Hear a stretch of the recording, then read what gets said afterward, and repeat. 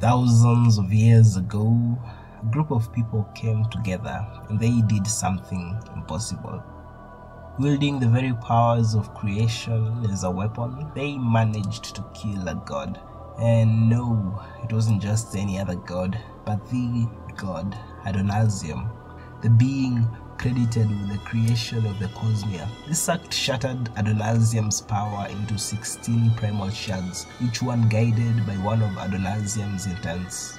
These shards were then picked up by those who were present, and each one ascended to godhood, mortal no longer.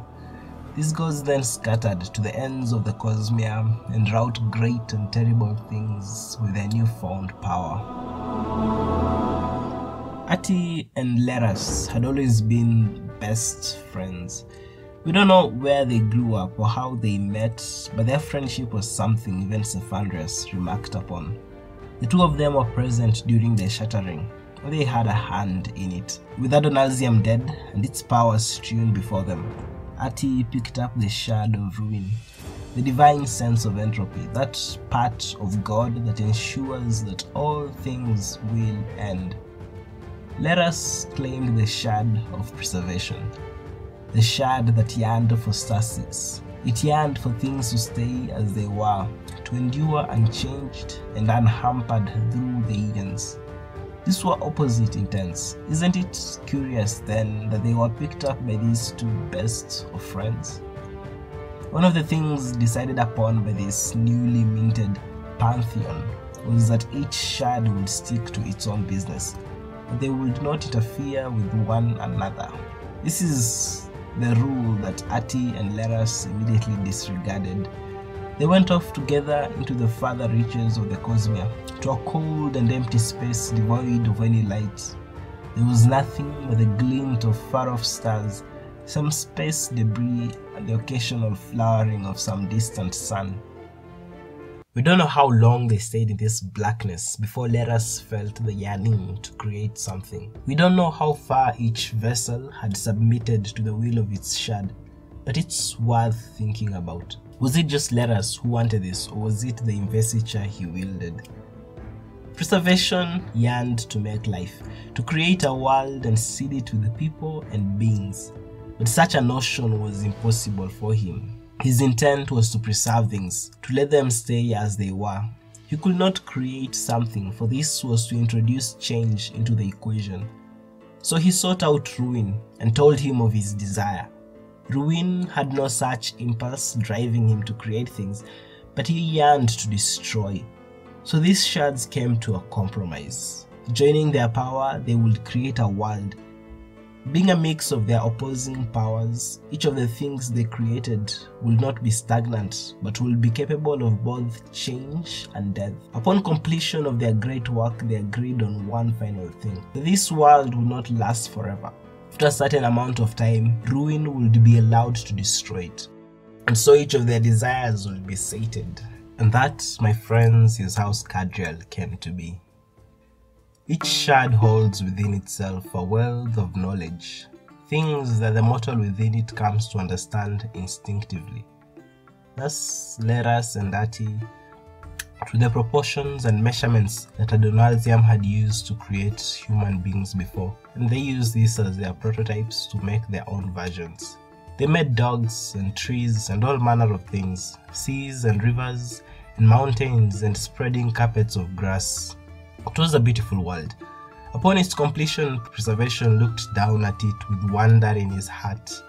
But he also wept. How could it be that this fair vision was destined to be destroyed? How could ruin not see that such beauty deserved to flourish? He yearned then to effect some sort of change, to rip their contract in two and consign it to flames. For he wanted to shield and nurture this fledgling world and its people. But he was powerless, for the pacts of gods are not as the covenants of men, so easily broken and discarded.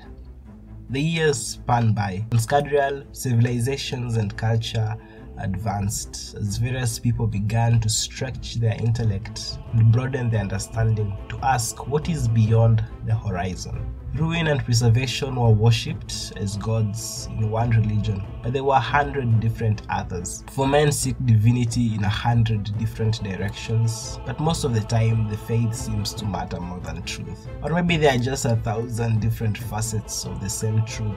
Ruin watched all of this with relish, for the day, that promised day, was hackening closer, and he yearned to rain fire upon this thing they had made. Beside him, Preservation watched his old friend, now masked in the veil of a dark god, knew that he could not let him destroy their world. Gods cannot break their contracts, I said, but behind this god's power there was a man. A relic of a bygone age, perhaps, a man who had risen far and done too much. But he was still a man, with all the wiles and guile of that species. So he found a way around the restrictions of his godhead and turned against his former friend. Preservation tore apart his own power and forged chains from it, chains that he then used to bind Ruin. He went further and stole part of Ruin's own power and hid it in the world below. Leras was now weakened and reduced to a state of base existence, a creature of instinct. His own power was impotent, as much of it was committed to binding Ruin to his prison. But this was not enough, for Preservation knew that Ruin would eventually break free of this bondage. He made one last contingency plan, one that relied on the ingenuity and duplicity of the human beings they had created. Down on Scadrial, as peoples looked up they saw a certain deepness rising. Something was off in the skies, something was off in their prophecies. Also, the histories tell us. We only know that a certain hero rose up to face the challenge and to save humanity.